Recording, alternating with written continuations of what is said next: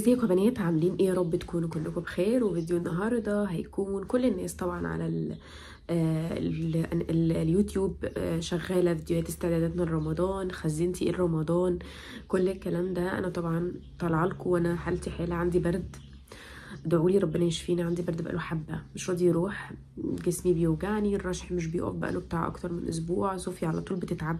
صوفي من ساعة ما نزلتها الحضانة من خمس شهور وهي تقريبا بمعدل كل عشرة أيام أسبوعين عندها دور برد وسخونية. تعبت لفيت بيها على الدكاترة تقريبا الشتاء ده كله. قضيناه كده يعني. هي نزلت حضانة من بداية الشتاء.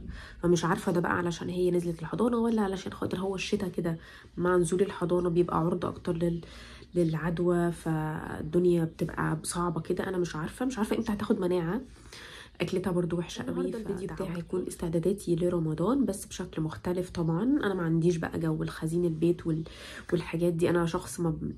عموما في العادي ما بخزنش وما بحبش أعمل الحاجات دي وبحس إنها بتهدر طاقة ملهاش أي داعي سواء في رمضان أو غير رمضان. يعني أقصى حاجة ممكن هيخزنها اللي هو مثلا لو أنا عصرة طماطم شوية زيادة مع أكلتي أشيل كيس كيسين بس ده أقصى حاجة ممكن أعملها. لو متبلة فراخ كتير أشيل مثلا حبة تانيين. بس استعداداتي لرمضان المرة دي هتكون مختلفة جدا وهي حاجة أنا عايزاكم تعملوها. حاجة أساسية قوي في رمضان لو هنصحكم نصيحة واحدة بس في رمضان تعملوها هي يا جماعة إن أنتوا تطلعوا من رمضان ده أحلامكم اللي كنتوا عايزينها تتحقق آم، الأيام ده. فلو هنصحكم نصيحة واحدة هنصحكم بالدعاء.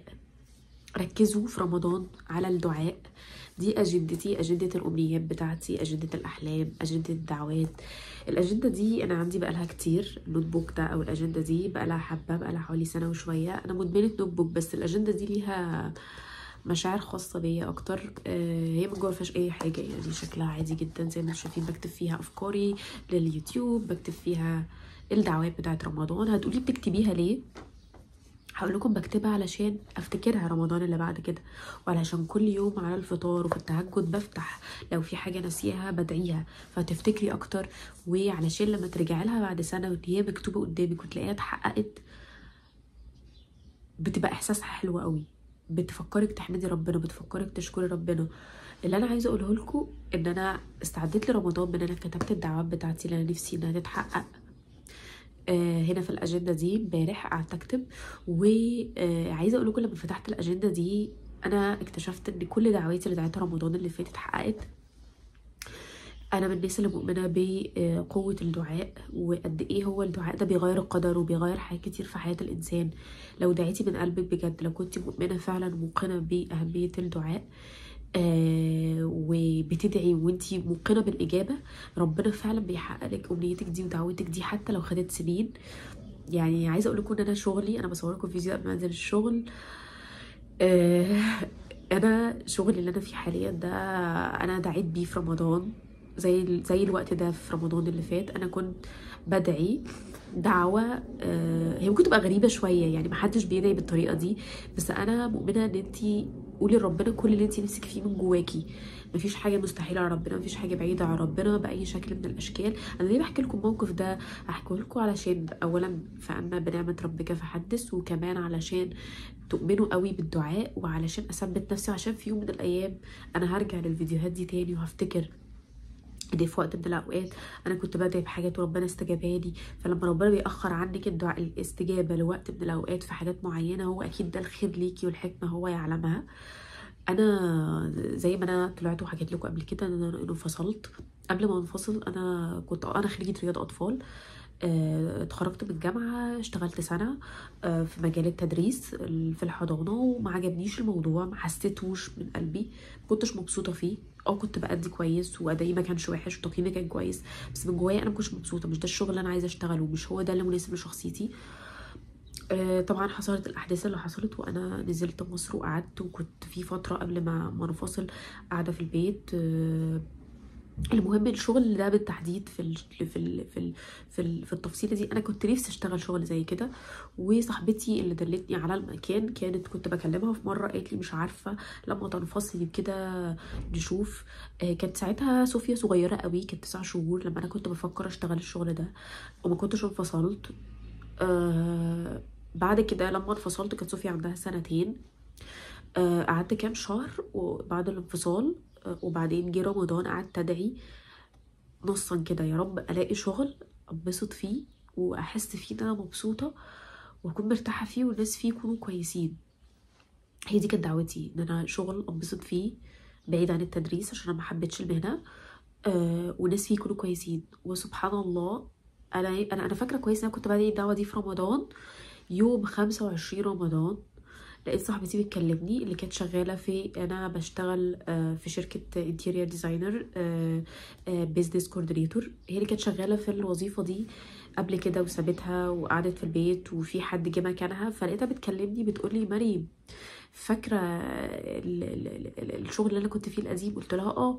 قالت لي أنا عرفت إن البنوتة اللي جت بعدي هتسيب الشغل وهما بيدوروا على حد وبيعملوا انترفيوهات كتير الفترة دي بس آه، مش لاقيين حد. إيه رأيك تروحي تقدمي؟ يا آه، يا شيماء هي اسمها شيماء. آه، معرفش هتشوف الفيديو ولا لأ. قلت لها يا شيماء آه، آه، أنا ما عنديش أي خبرة طبعا في المجال. ميح أنا بقالي ست سنين في البيت. آه، ليا مدة جوازي. آه، زائد انه أصلا أنا بعيدة عن المجال. يعني الخبرة اللي عندي في التدريس. ما بعرفش أي حاجة على الكمبيوتر ال Excel وال Word والحاجات دي مش قوي فيها. آه، فكرة ال marketing والحاجات دي أنا ماليش فيها قوي. مجال الديكور ده أصلا أنا مش عارفة فيه حاجة. فقلت لها آه، أنا يعني انتي هم عارفين إن أنا بيح قالت لي بصي هنجرب وبتاع وخليهم يكلموكي وتشوفي. وأنا لما رحت اشتغلت زي كده كانت إيه آه يعني ما كانتش عندها خبرة برضه. فقلت لها خلاص اديهم ال CV وقولي لهم الكلام ده. فبعتت لهم ال CV بعدها بيومين بعتت لي قالت لي قالوا لي إن هو تعالي اعملي interview قولي صاحبتك تيجي تعمل interview ان هم مش لاقيين حد مناسب. هما كانوا بيدوروا في الوظيفة دي على آه، مش بس حد يبقى عنده مؤهلات الأهم عندهم الشخصية واللي هي تبقى آه، مناسبة للمكان.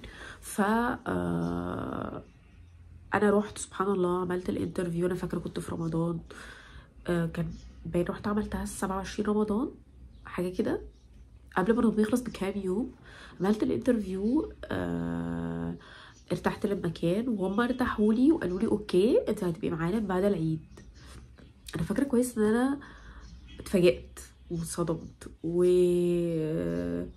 قلت سبحان الله يعني الدعوة اتحققت. طبعا في بداية الشغل طبعا كان موضوع مرهق بالنسبة لي. آه كنتش فاهمة حاجات كتير. خدت وقت عقبال ما استوعبت الشغل وفهمت الشغل. ولكن لقيت إن دعوتي اتحققت. الناس هناك ناس محترمة. أنا ارتحت لهم. شغل أنا حباه. لقيت نفسي فيه شبه حاجات أنا بحبها. آه، متابعة العملاء. إن أنا بيشغلوا كامبين أنا بتابعها. آه، بنزل فيديوز على الصفحة. بعمل حاجات كتير. فأنا حبيت الشغل ده حسيت إن فيه شوية مرونة. شغل التدريس ما فيهوش مرونة فيه شوية رتابة مش شخصيتي. فاهم؟ آه آه أنا ليه بحكي لكم الكلام ده؟ بحكي لكم الكلام ده علشان أنا دلوقتي ورمضان التاني جاي وبقالي يعتبر سنة في الشغل. رجعت للأجندة ورجعت للتفاصيل اللي كنت كاتباها فيها اكتشفت إن أنا دعوتي اتحققت. قعدت أحمد ربنا وقعدت أشكره. طبعا أنا بحمد ربنا على طول. حاجة تاني حاجة آه، اتعلمتها في الجزئية دي إن ربنا بيديك الحاجة في الوقت اللي أنت مستعد فيه.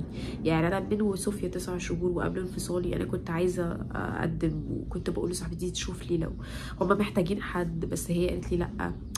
بس ربنا بعتها لي في الوقت المناسب اللي هو خلاص أنا انفصلت وخلاص وإن يتفرقوا يغض الله كل من ساعته فربنا سبحان الله بيبعت لك الحاجة السعة بتاعتك بيبعت لك ال- ال- ال- ال- الحاجة في وقتها المناسب. فحقيقي أنا تجربة شغلي دي آه، فخورة بيها وحباها. طبعا في صعاب بمر بيها كتير جدا. إن شاء الله بحكي لكم في تفاصيل تانية. فكرة يبقى عندك طفل بتشتغلي ده مش حاجة سهلة خالص مش حاجة مش أحسن حاجة.